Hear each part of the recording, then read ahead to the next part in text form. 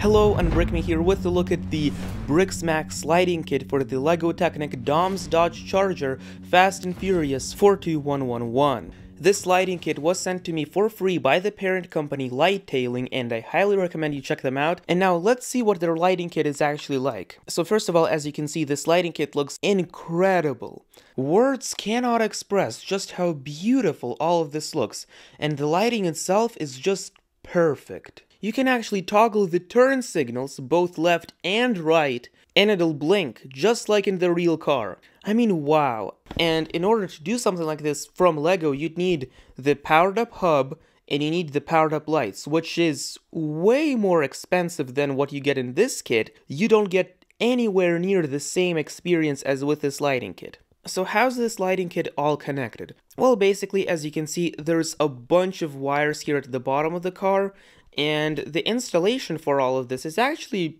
much simpler than what you would think. Briksmax has actually very detailed instructions so you won't really get confused while installing it, but if you do need some additional help, they have a very detailed video up on their YouTube channel, and you can just see how to install everything step by step really. What I love about this Briksmax kit is that each separate group of wire comes in a different bag, so everything is coded, and in the instructions it says get a wire from the bag number D06 and you get that bag and everything is clear and you don't really get confused as to which wire goes where, nothing like that. It's really simple. But installing it does take a little bit of time since uh, you do need to feed the wire through like these tiny holes. So you do kind of get to spend some time installing everything, but in my opinion, for the end result, it's well worth it. I also like how it teaches you a little bit about how electronics work, because as you can see, uh, there are certain groups of wires that come together into this one expansion board, and basically this entire group of wires comes into one which then connects to the main circuit board. I think that this implementation is really well done in this set. As you can see here is basically the motherboard of the entire lighting kit, and if you're a big fan of little electronic components, then this is gonna teach you a little bit more about electronics. And it's basically the receiver and the control unit for the entire thing. You can power this lighting kit with either the battery box, which contains three AA's. That means that the battery box power is gonna last a very long time. But in case you want to make sure that this lighting runs indefinitely, then you can always connect it using a USB cable and just simply connect this little USB cable to the motherboard and then connect it to your computer and boom, it works perfectly. Uh, it's actually a little bit brighter from the computer than with a battery box and this brings me to my next point which is that the lighting in this entire lighting kit is actually kind of adjustable because you have three settings, the least bright, the medium setting, and the brightest setting. All of these are controlled through this special Briksmax remote, and you get plenty of functions here. For example, the A button toggles the interior lights, the B button toggles the front and the back lights, the C button toggles the left blinker, and the D button toggles the right blinker. And here are the brightness settings buttons too. Everything, as you can see, is controlled through this little remote, which in my opinion is really great because a lot of lighting kits you just kind of plug in the lights and you turn it on and you, you, don't really do anything much. But because you get this remote and because everything is so interactive you're gonna have plenty of fun. Right now like i can't stop playing with this. It's just so much fun. And even though this Dom's Dodge Charger didn't have a lot of functionality, so it was only used as a display piece, but now, without even ruining any of the aesthetics, you get plenty of playable functions now, which is really perfect in my opinion. The lights themselves are really, really tiny, and basically they just fit in between the Lego studs, and then you put a clear plate on top of it. That is really cool.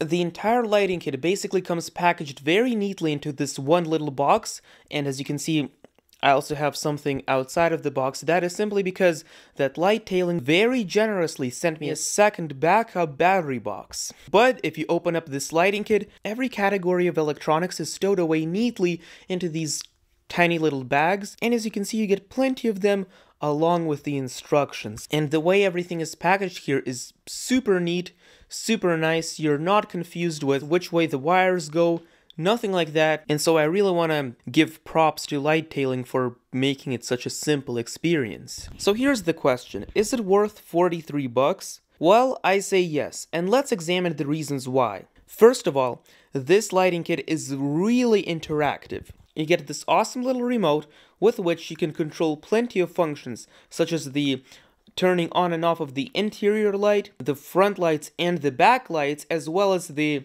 right turn signal and the left turn signal, all of which are toggled completely independently, and you can also control the brightness setting of your entire lighting kit.